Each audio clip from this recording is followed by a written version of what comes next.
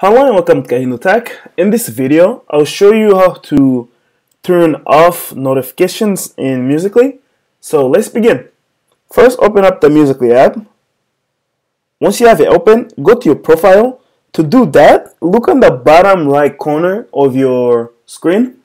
Do you see the little person icon? It's to the right of uh, the little lightning. The very last item, the person icon, okay? Tap on that as you can see, it's currently black. Now, once it takes you here, you want to go to your settings. To do that, look on the upper right corner.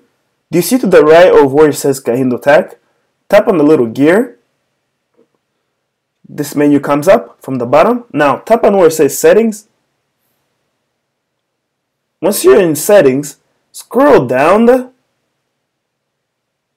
until you reach where it says account settings tap on where it says push notification. Alright.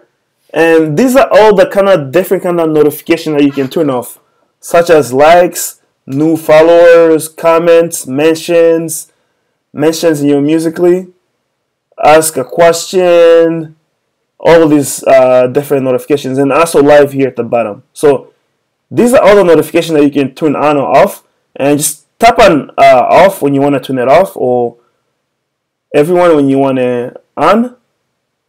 Okay, that's how you turn off uh, notifications in Musical.ly. If you have any other questions or comments, please leave them in the comment section below. If you like the video, give it a thumbs up and definitely subscribe to my channel for more videos like this. Thank you for watching.